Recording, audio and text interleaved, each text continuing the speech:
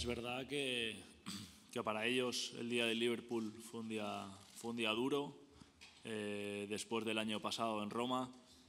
pero bueno, es verdad que ha pasado tiempo, que nos jugamos otro título, que ellos si ganan este título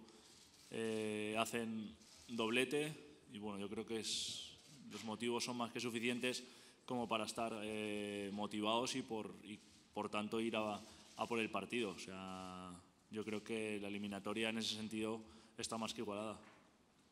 Para mí, como, como he dicho en, muchas veces, eh, conseguir un título con, con, el Valencia es un sueño y bueno, mañana tenemos la, la oportunidad de, de conseguirlo, de, de, conseguirlo además el año del centenario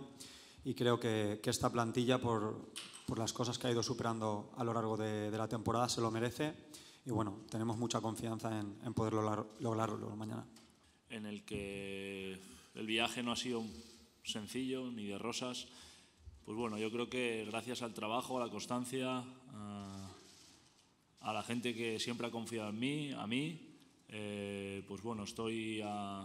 a, 24 horas de jugar una final con, con un equipo como, como, el Valencia, que es, es increíble.